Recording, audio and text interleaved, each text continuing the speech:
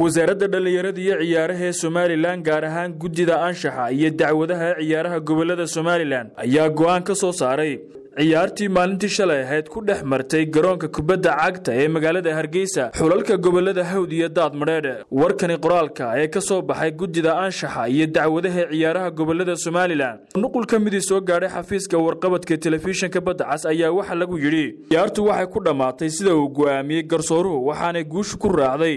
gobolka daad madheer sida ku cad qodobka afar iyo labaatanaad ee sharciga tartanka ciyaaraha gobollada somalilan ee sanadka labada kun iyo labaatan. U dhigaya gobolkii taageerayaashiisa iyo kooxdiisa laga wadi kari waayo ciyaarta. Waxaa laga qaadi doonaa dhibcaha xataa haddii ay badiska iyagu leeyihiin. Laba waxaa lagu ganaaxay gobolka hawd in ciyaaraha gobollada somalilan ay ka maqnaadaan muddo dhan shan sano iyo ganaax lacageed oo dhan labaatan milyan oo shilinka somalilana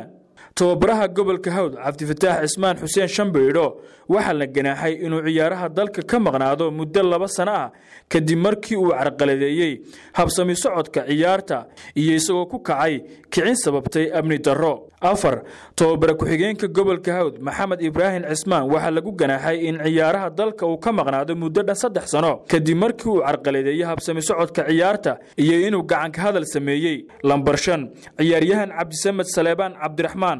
oo loo yaqaano laayax oo ka tirsan xulka gobolka hawd waxaa lagu ganaaxay in ciyaaraha dalka uu ka maqnaado muddo dhan shan sano iyo toban milyan oo ganaaxa kadib markii uu feedhay garsoorihii ciyaarta daadihinayey lamber lix ciyaaryahan ayaanle good aadan oo ka tirsan xulka gobolka hawd. Waxaa lagu ganaaxay in ciyaaraha dalka uu ka fadhiyo muddo dhan saddex sano kadib markii uu dil ugu hanjabay mas'uuliyiin ka tirsan. Mas'uuliyiintii hagayay ciyaarta. Lamber toddoba ciyaaryahan shaafici cabdi xiis oo ka tirsan xulka gobolka hawd. Waxaa lagu ganaaxay inuu ciyaaraha gobollada somalilan ka maqnaado muddo dhan saddex sano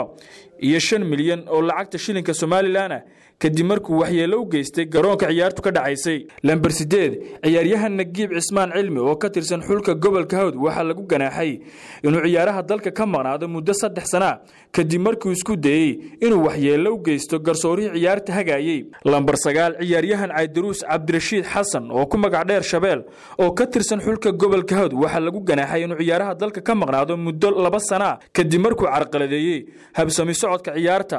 lamber toban ciyaaryahan fadxi ismaaciil maxamed riin oo ka tirsan xulka gobolka hawd waxaa lagu ganaaxay inuu ciyaaraha dalka ka maraado muddo saddex sana. Kadib markii waxyeelo u geystay mas'uuliyiinta ciyaarta hagaysay. Koob iyo toban ciyaaryahan cabdirasaaq maxamed muuse oo loo yaqaano hiiro ahaana goolhayi xulka gobolka daad madheer waxaa lagu ganaaxay in ciyaaraha dalka uu ka fadhiyo muddo laba sana iyo saddex bilood ah oo ka bilaamaysa saddex iyo tobanka bisha koob iyo tobnaad sanadka labada kun iyo labaatanka. Kadib markii uu hanjabay calanwalaha koowaad ee ciyaarta dhex maraysay gobollada daad madheer iyo hawd.